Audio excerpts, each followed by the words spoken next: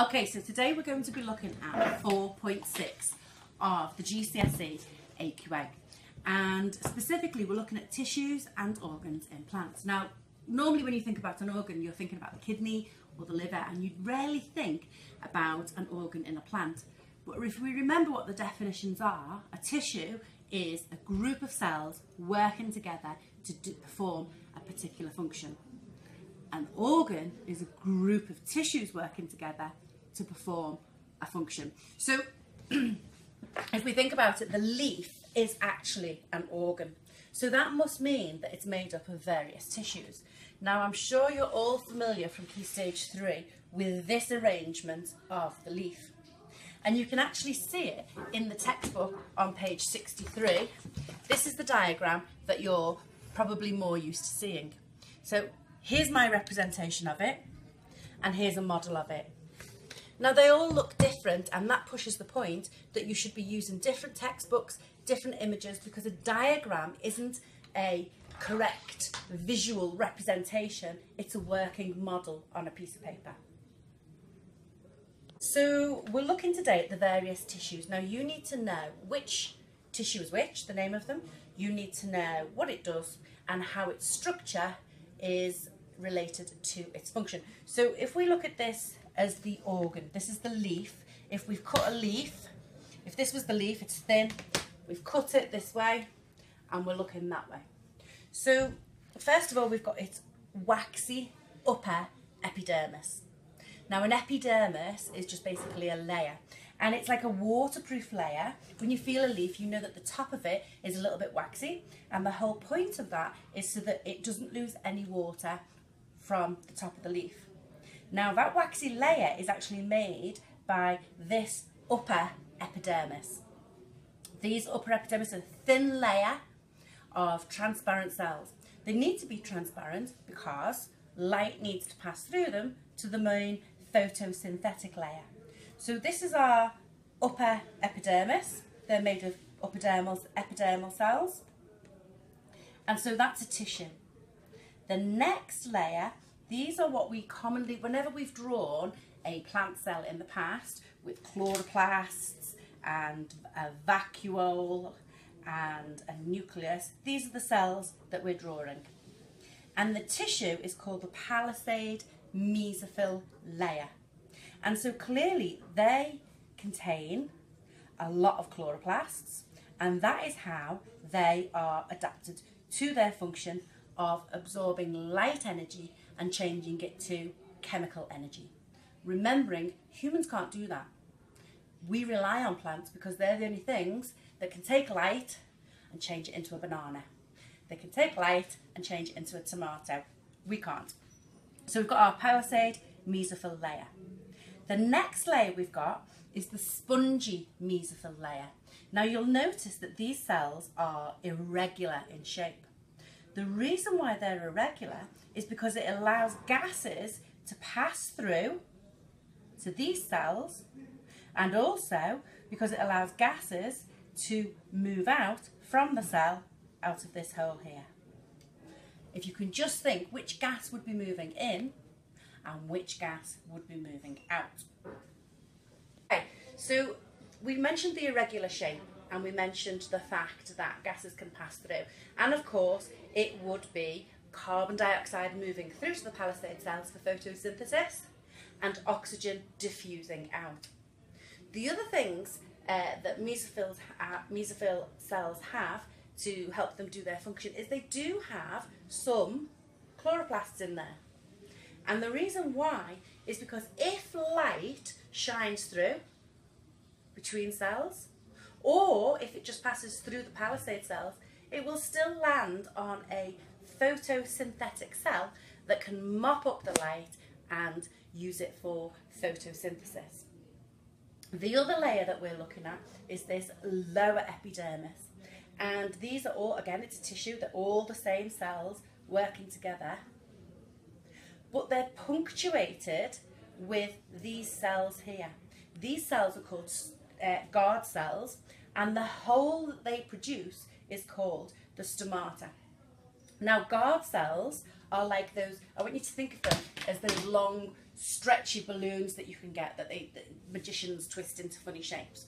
When you first blow one of those balloons up and you don't put too much air into it, it's a long, straight balloon. When you continue to blow, the balloon takes on a curved shape. And that's exactly what happens with these guard cells. As they absorb more water, they become more turgid and they bend. And that bending opens up the stomata so that there's then a hole.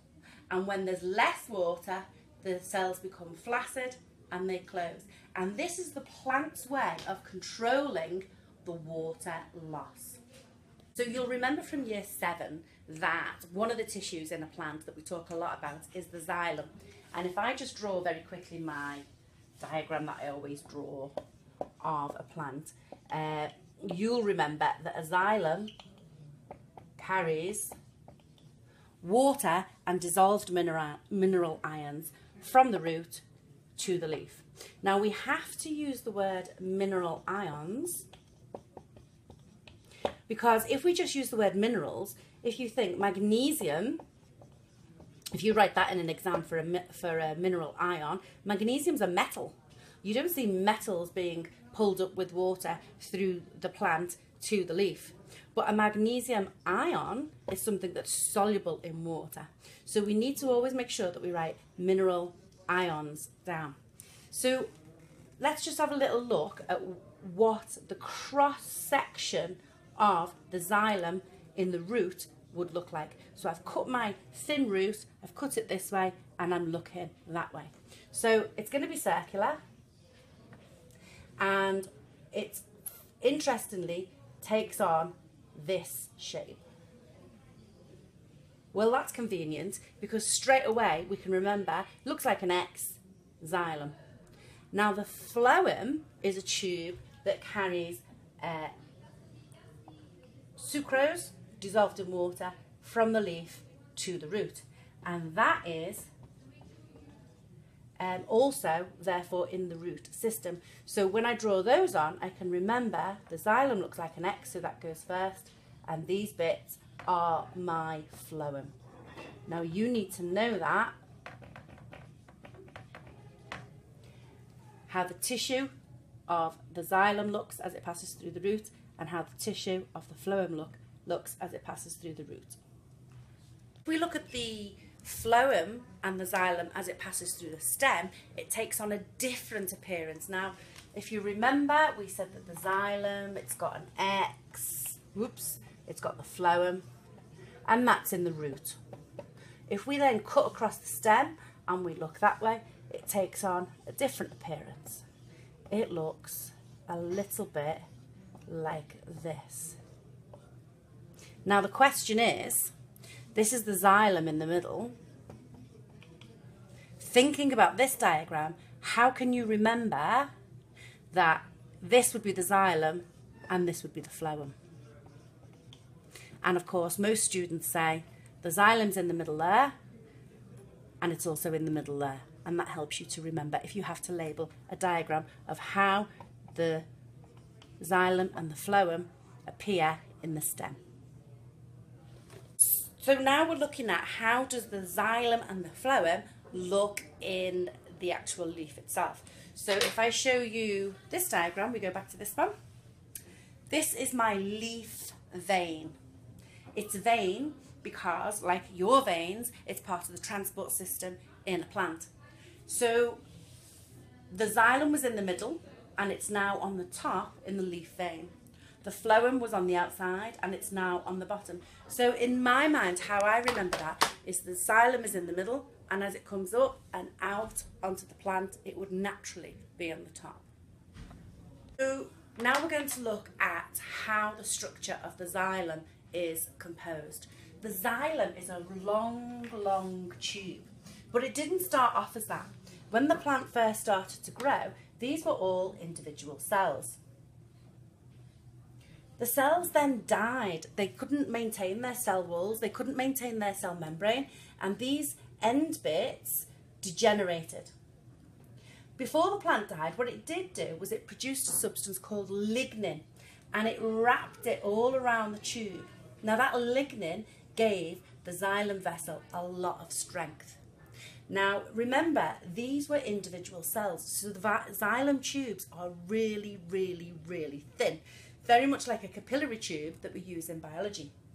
So in actual fact, what we've got is we've got loads of these together. And that's why, again, if you cut it in this direction and look down the tube, it will look like this. Phloem is a very different tube. Yes, it carries substances like the xylem, but that's where the similarities and differences finish. The xylem is made of live tube, is made of live cells, and they line up along each other. Now, they're moving dissolved sucrose, which is dissolved in water, down from the leaf to the root. And we'll talk about the reasons why later. So if this is my tube, I want sucrose to pass from here to here, from cell to cell. Now, for that to happen, I want to remove most of the contents of my cells because a big nucleus in there, a big vacuole, is going to impede the passage of the sucrose. So what phloem cells do is they have an additional cell attached to them, and it's called a companion cell. And that companion cell basically keeps this cell alive. Now the other, because this is a fairly empty cell, therefore it's still got cytoplasm in, but because it's a fairly empty cell, um, the, the passage of sucrose can move through. But to increase that passage, what happens is the uh, end plates here behave like a sieve and they have small holes in them. So these end plates, because they behave like a sieve, we call them sieve end plates. And these gaps mean that substances can pass through with ease. So how are phloem tubes adapted to their function? The phloem cells themselves are very empty. The companion cells work with them, uh, holding all the organelles that keep the phloem cells alive and the cell walls at the end have these gaps which have got a lovely name called plasma desmata that allow the passage of sucrose. In Cambridge, they might, the CIE uh, Cambridge examination, they would just ask you all about the structure of the xylem or the phloem. AQA doesn't want to know that. A grade C student will know the structure of the xylem and will know the structure of the phloem. A grade A student will be able to do, compare similarities and differences of the tubes. So let's have a look at that. We are comparing the xylem with the phloem. They're both tissues. Um, and then the other things that I can say, if I say the xylem is one thing, I have to say what the phloem is.